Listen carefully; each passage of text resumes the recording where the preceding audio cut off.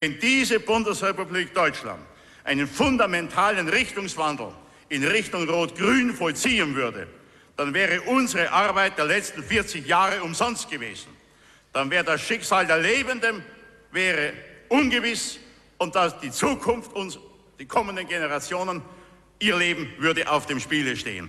Das ist es, was wir unseren Wählern sagen müssen.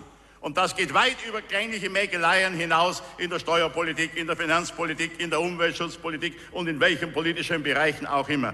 Wir stehen doch vor der Entscheidung, bleiben wir auf dem Boden trockener, spröder, notfalls langweiliger, bürgerlicher Vernunft und ihrer Tugenden oder steigen wir in das bunt geschmückte Narrenschiff Utopia ein, in dem dann ein Grüner und zwei Rote die Rolle der Faschingskommandanten übernehmen würden.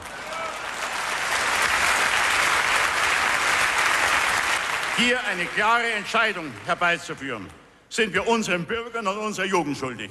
Sind wir aber auch der Glaubwürdigkeit Deutschlands bei unseren Nachbarn aller vier Himmelsrichtungen schuldig.